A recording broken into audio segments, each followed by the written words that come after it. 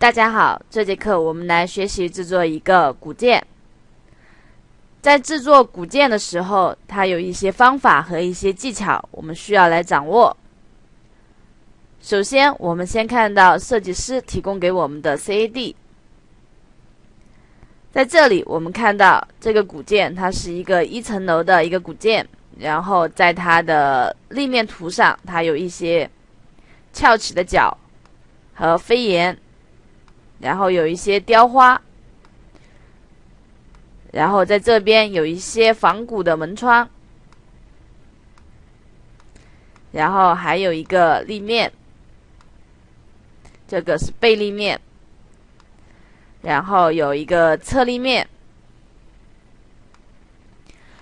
立面齐了之后，现在我们再来看它的平面，在这里它只给了我们一个平面图。这个平面图它是它的一个底层平面，然后它有一些剖立面。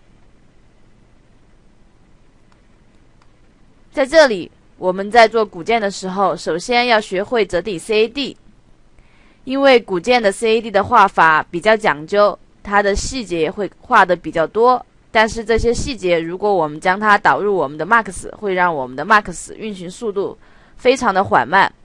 所以，如何来清理我们的 CAD？在这里，我要向大家示范一下，如何来整理骨件的 CAD。首先，我们来整理一下它的侧立面。在整理侧立面的时候，我们先将多余的标注进行删除。删除完标注之后，同样的，我们需要将它的填充物体进行一些删除。比如这个是一个砖的一个填充，当然这个是它的一个走廊的护栏。在这里，我们可以保留，然后将它墙上的填充的花纹进行一个删除。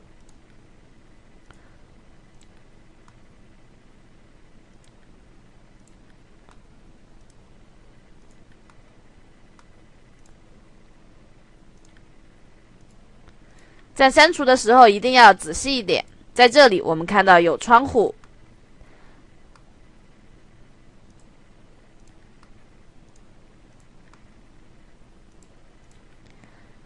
在删窗户的时候，我们也要仔细的观察一下，它是一个带花纹的一个窗洞，在这里我们可以留下其中的一个，然后来进行复制就可以了。所以，我们将边上多余的进行删除。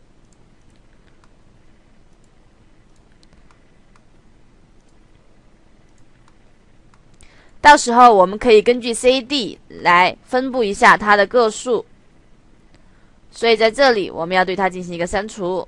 保留一个图形就可以了。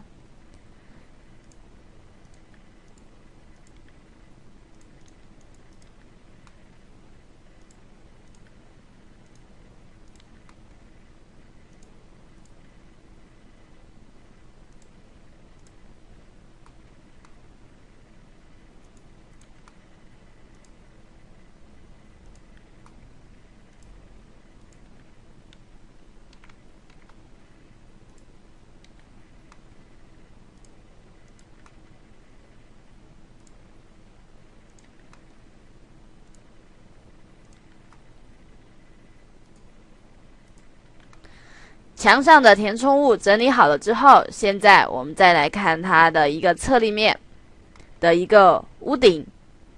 在这里，它的屋顶的瓦画的比较细，但是每一个基本上都差不多，除了它的两边是往上翘的，其余中间的都是同样的。所以在这里，我们需要将重复的进行删除，保留一个作为它的原型就可以了。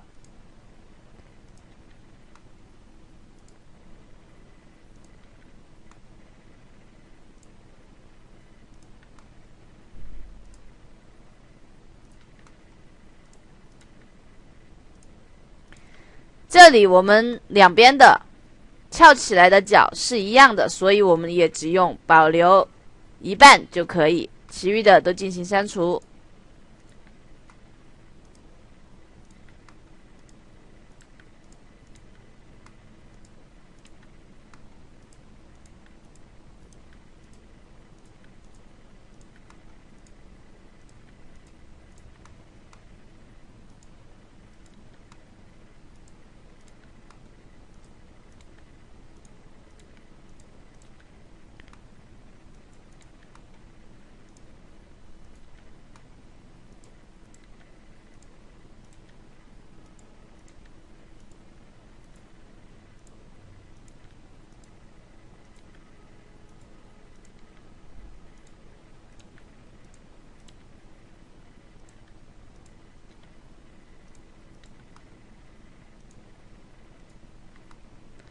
这边删除好了之后，像这些地方的一些雕花，我们可以将它的花纹进行删除，因为它会影响我们的一个运行的速度，所以在这里我们就可以对它进行一个删除。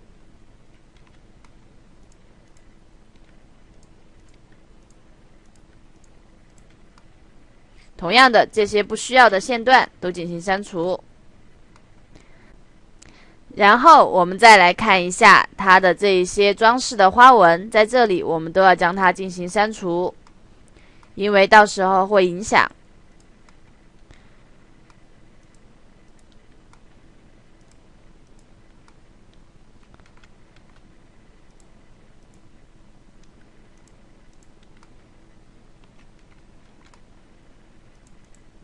在删除的时候，尽量的仔细一点。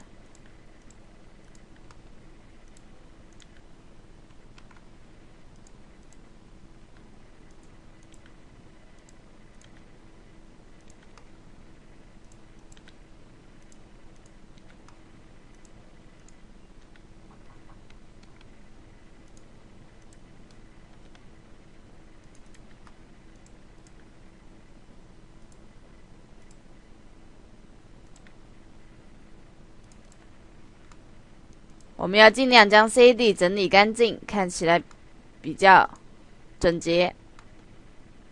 在这里，他画了一个雕像，在这里我们可以将雕像里面的填充进行删除，到时候直接勾勒它的外形就可以了。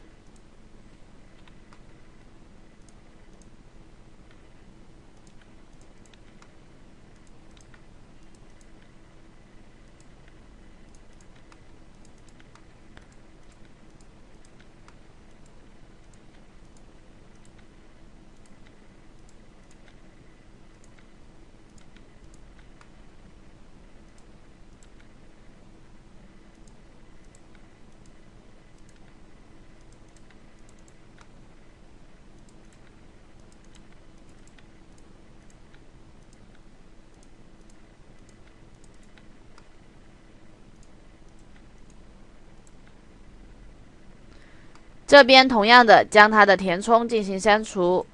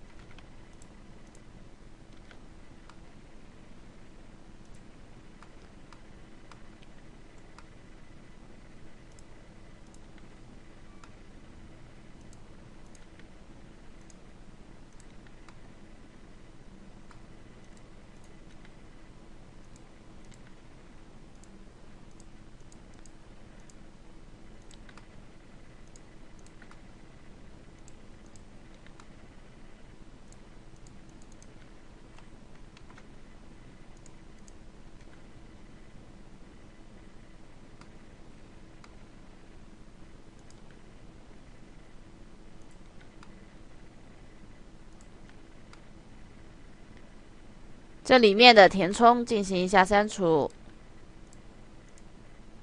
可能我们的这一个雕像到时候都要进行一个删除，因为它有太多的点和线了。在这里我们可以看一下，它的点太多，到时候会影响我们的运行速度，所以在这里我们可以先将它进行删除，到时候复制差不多的，然后进行摆放就可以了。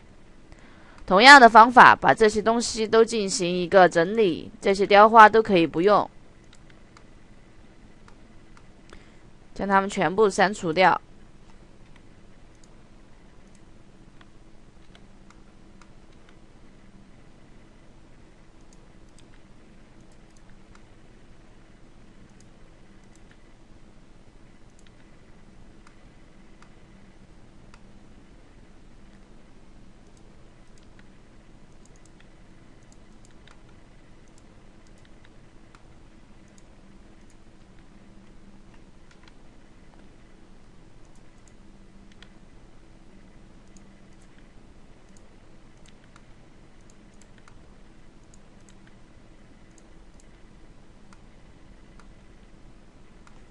在这里被删除的我们可以退回去。仔细的来看一下。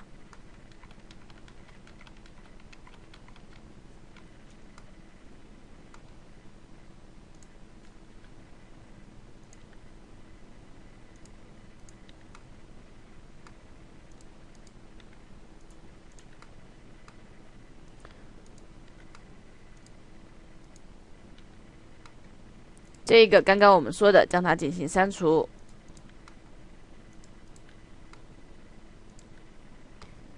这个和左边的、右边的这一个，呃，左边的这一个是一样的，所以在这里我们也可以对它进行删除，到时候直接复制就可以。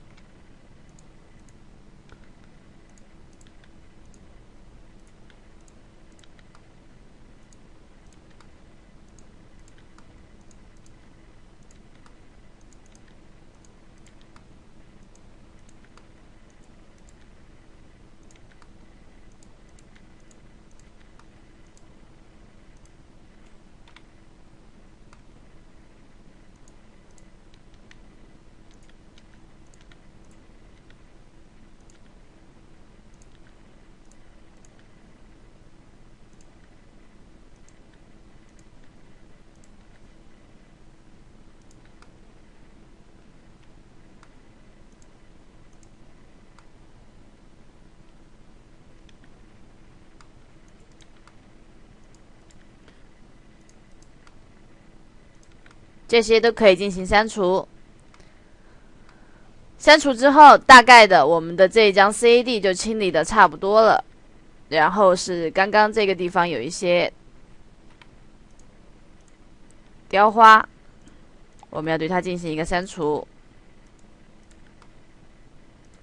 删除完了之后，这一张古建的 CAD 我们就已经基本整理好了。同样的方法，我们来整理它的第二张，在整理。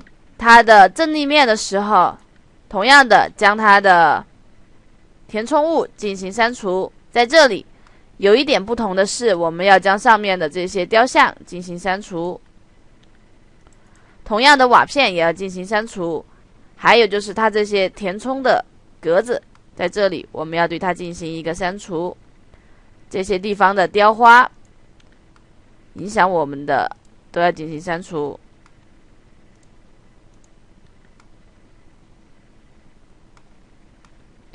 然后是我们的门，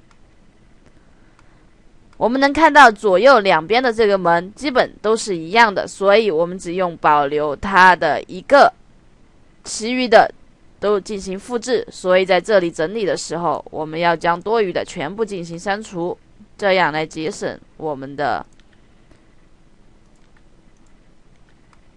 点和面。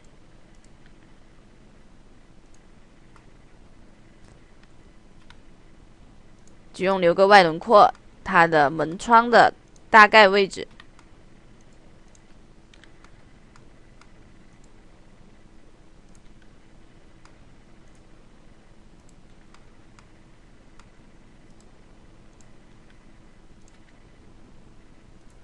这样，待会儿我们只用做一个，然后往右进行复制就可以了。这边同样的，我们可以全部都进行删除，因为我们左边已经留了模板。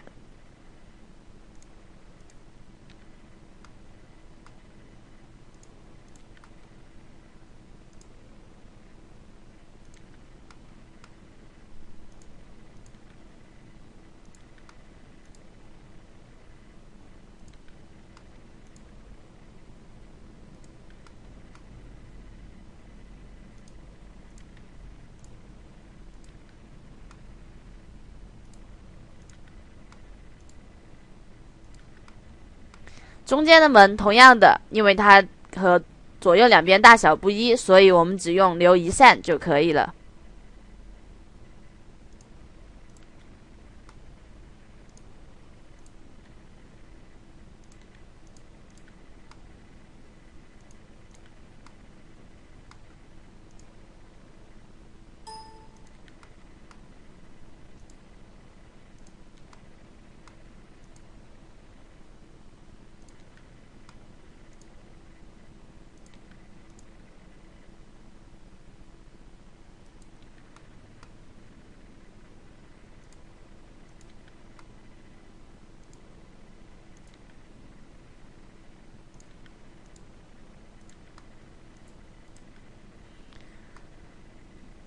然后将这些雕花进行删除。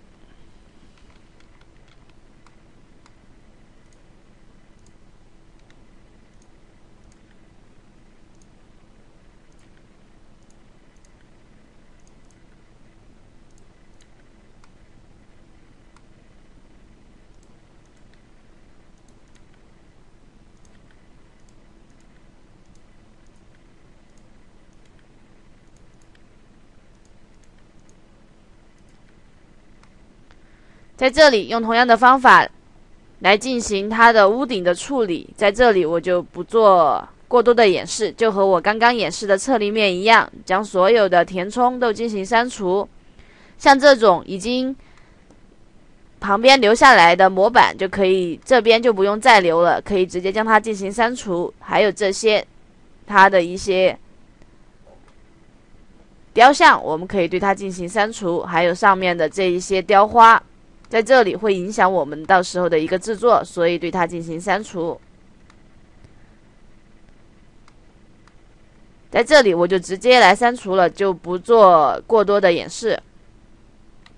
用刚刚的方法，我就已经将我们的 CAD 整理好了。在这里我多整理了一个剖立面，到时候我们在建它的屋顶的时候会有用。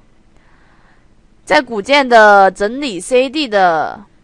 过程中会相对于平时的那些 CAD 要稍微麻烦一些，所以在整理的时候一定要仔细和细心。CAD 整理好了之后，现在我们就将它逐一的写块，然后导入我们的 Max 软件。CAD 的写块在我们之前的案例中已经讲过了，在这里我也不做过多的演示，我就直接来进行写块。